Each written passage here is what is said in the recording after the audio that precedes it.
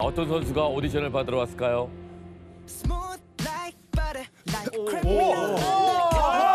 탄력 대박이다.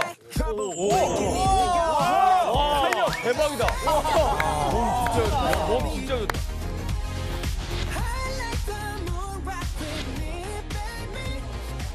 와 뭐야 몸들이 왜 이리 다 좋아? 몸 좋다. 몸이 다 좋네. 레슬링화 같은 몸이. 근데 신발이- 아, 신발이 왜? 유니폼이 축구 유니폼 같기도 하고 말이죠. General. 어 맞습니다. 맞아 맞아 맞아.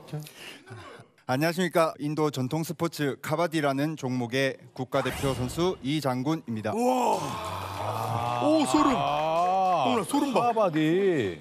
어, 이 유명한 선수야? 어, 그래? 말도 안 돼요.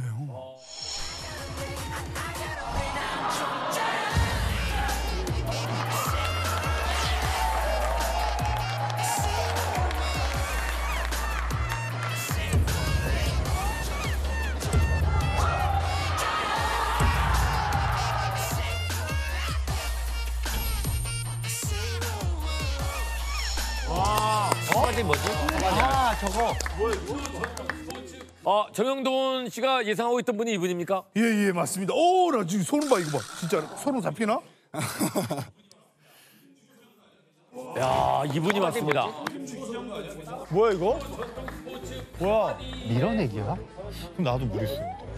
알아요 카바디라는 걸? 전 카바디 몰라서. 저는 전 처음 들었습니다. 예. 어 카바디는 터치라는 단어가 들어가서 술래잡기라고 이렇게 설명하면 쉽게 할 수 있는데 어, 럭비나 레슬링, 격투기가 혼합된 종합 스포츠라고 보시면 됩니다. 신기하다. 우와. 사실 격투 쪽은 관상이 비슷해. 보면은 딱 격투 느낌 나더라고. 카바디. 공격수가 수비 진영에 들어가서 수비수들을 터치하고 자기 진영으로 돌아오면 점수를 얻게 되는데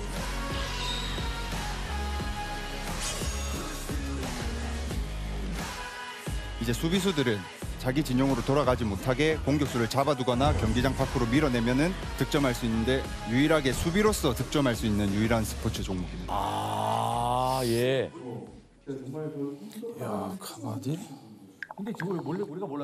경기장에 앞에 이렇게 선 하나씩 있고 그냥 경기를 네네. 하는 거잖아요. 네. 어, 박진감이 넘치고 예, 굉장히 치열합니다. 저 정도로 지금 막 격렬한 상황이라면 예기치 못하는 그런 상황들도 많이 나오겠는데요. 어, 네. 카바디라는 종목이 단체 종목 중에서도 이제 유일하게 손을 잡고 하는 스포츠 종목이어서 동료들과 조금 가까운 밀접한 거리에서 하다 보니까 순간적인 부딪힘이 너무 많아서 어쩌다가는 뭐 상대들이랑 부딪히다가 보면은 뽀뽀도 할 때도 있고.